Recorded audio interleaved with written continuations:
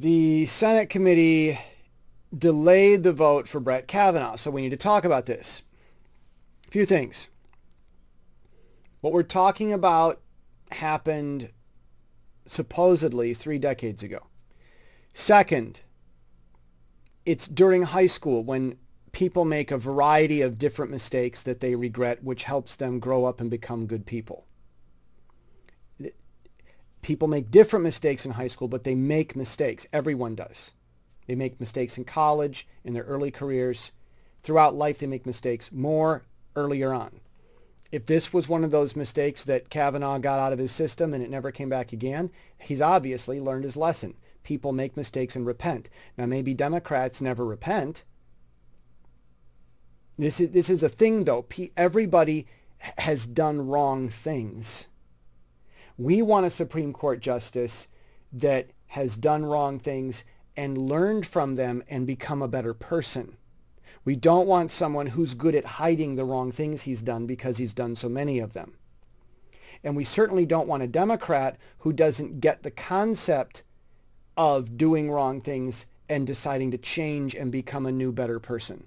We, we Democrats don't seem to get that concept. You know, once once a whatever, always a whatever. Democrats don't. You know, that's their thinking. So we want we want we want people that become better with time. Kavanaugh has proven to become better with time.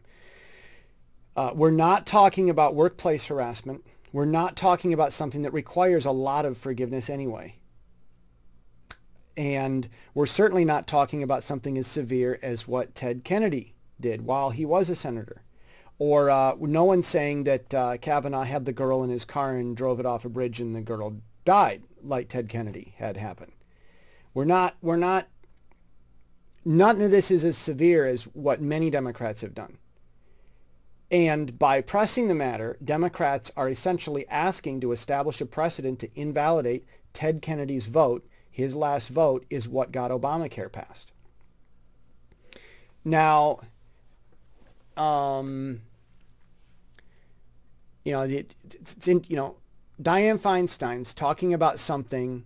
She's she's accusing a Republican nominee of doing something that people in her own party do much more often and much more severely.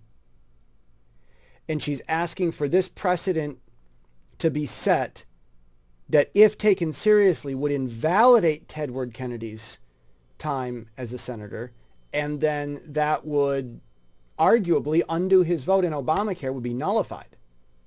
If, I, if, if what Senator Feinstein is arguing here is correct, Senator Feinstein, the Democrat.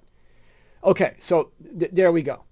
Even if the, all the accusations are true, Kavanaugh should be approved anyway because these are little and they are normal. D- Democrats like to deny this, but it, it's as they say, there's people who do and there's people who lie. okay, so um, we all make mistakes. We make different mistakes, but we all make mistakes. That, that's the human condition. That's Christian teaching. Second, second, Feinstein knew about this in July. So since it wouldn't matter anyway, the Senate committee should approve Kavanaugh, move him to the Senate floor. He's not voted in by the Senate yet. And then they should continue this investigation.